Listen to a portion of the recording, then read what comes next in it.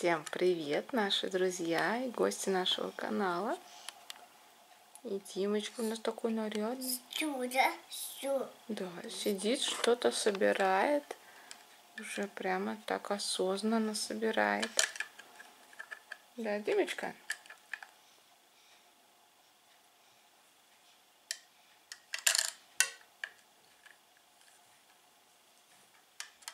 Если еще раньше он особо не понимал, что с этим делать совсем.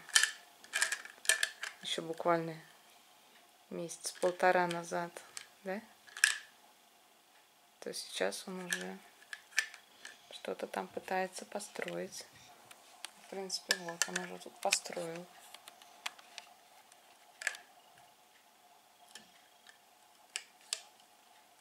Да, кстати, вчера к нам приходил врач, педиатр, посмотрел Димину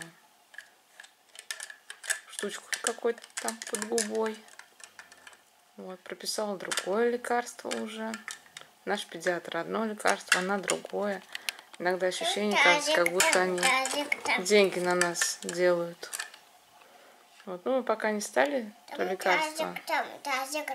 Да, не стали пока покупать то лекарство. Я решила попробовать по-своему полечить. Вроде сегодня вот уже поменьше стала она. Там прям уже образовался, от того лекарства образовалась уже корка. Были у нас просто аллергия, как бы. И последствия вируса, она сказала. У нас был вирус с месяц назад, который подцепил Дима в магазине. Бабушка, ну, моя свекровь, повела его в магазин. И там он подцепил вирус. И вот мы там прям вообще такой вирус был. У меня 3, наверное, 4 была температура, понос, горло, кашель, рвота. Это было вообще что-то нечто. Три мы, наверное, боролись, потом наконец температура потихоньку начала сходить. Понервничала я тогда прям вообще ужасно. На камеру, конечно, снимать все это не стала. Ребенок болеет, ну ладно. Вот ваши комментарии приходят мне. Кто-то написал в этот момент.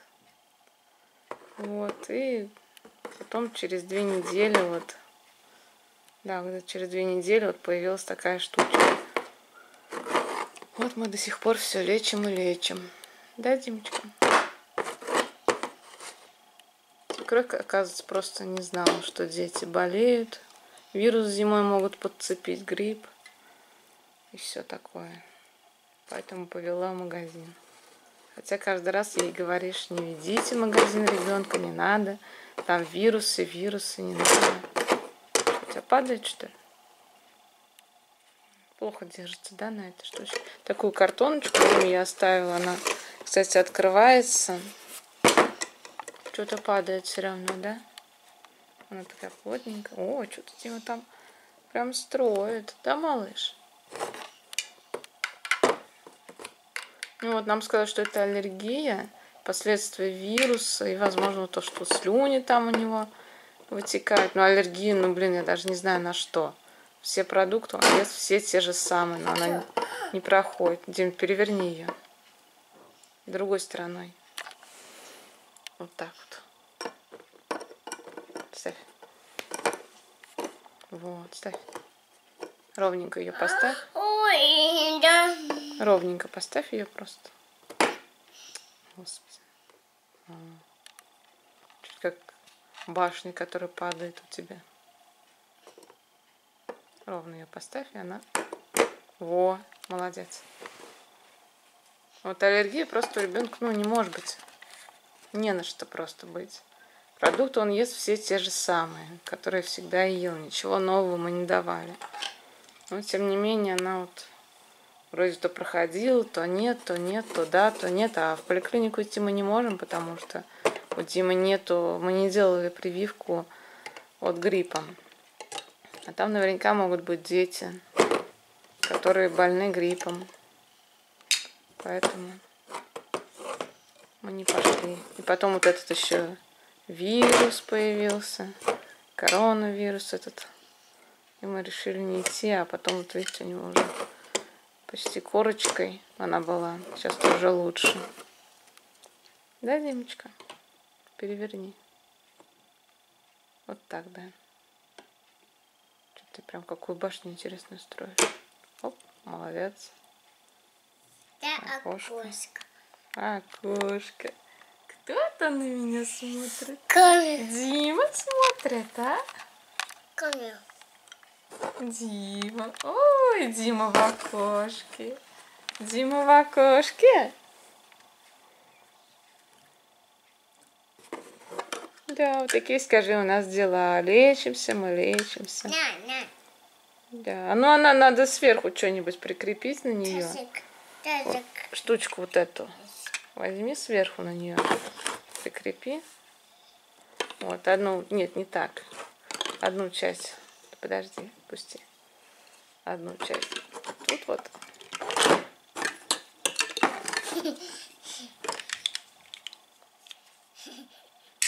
О.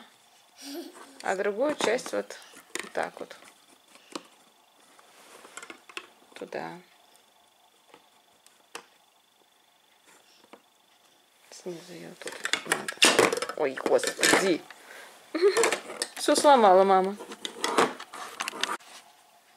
Прикрепили.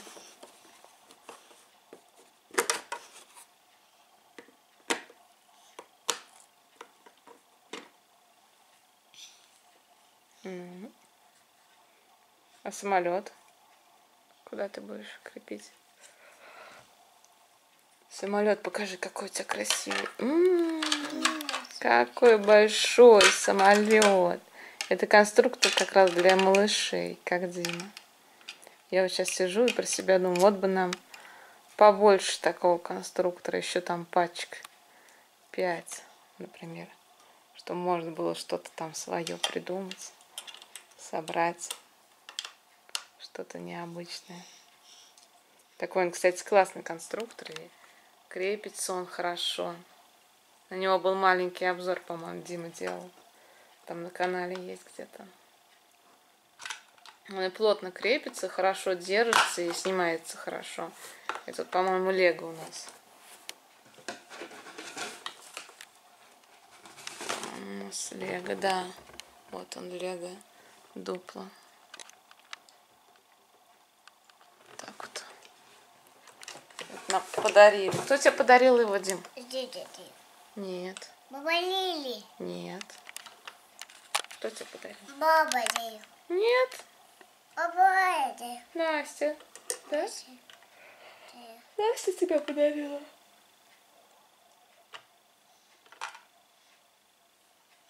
Что ты там делаешь? Ну, не ставится туда, наверное, Дим. И э, Короче, вот так мы играем. Сейчас у нас это все затянется на целых 10 минут.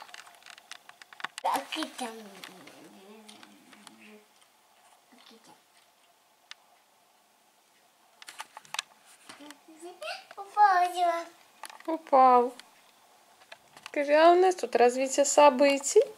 Уже прибавились животные, корова, носорог. Жирафы вот должны привести сейчас. Жираф. Жираф где?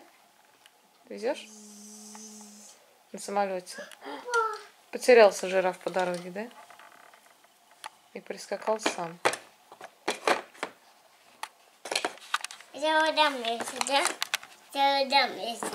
Заборчик вот тут вот.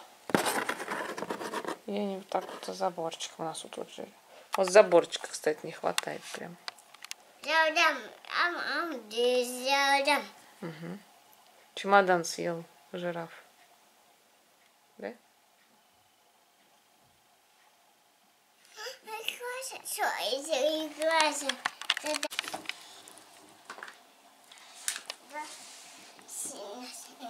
Носки ты.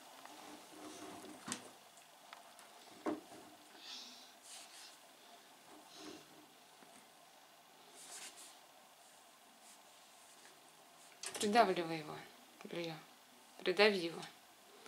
Вот, сильней.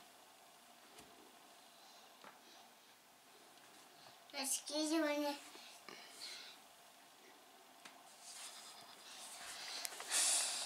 Угу. Все, там больше ничего нет? Молодец. Ты маме помог, сына. Ой-ой-ой, все там падает по бокам у тебя. Все, пойдем. Короче, на этом карантине. Так, сейчас. Опа. Время вон сколько. Короче, у меня начинается жор. Я уже третий, четвертый день замечаю, что у меня конкретный жор. Я не могу. Мне надо постоянно что-то поесть. Я не могу остановиться. Это просто, не знаю, это кошмар какой-то. То мне нужны орешки, то мне нужны конфетки, то шоколадки, то чипсы, то... Блин, это вообще это просто кошмар какой-то. Я разрезала его пополам, думаю, съем только чуть-чуть, но сейчас я чувствую это, захочу еще больше. Я очень люблю такой сыр, именно когда расплавился он, такой это. Бывает, если передержишь, то вот тут вот очень сильно запекется, и, короче, его от тарелки отмыть очень сложно. Короче, я сейчас буду кушать. До этого я уже зефирку съела. Ну, правда, не целый кусочек остался.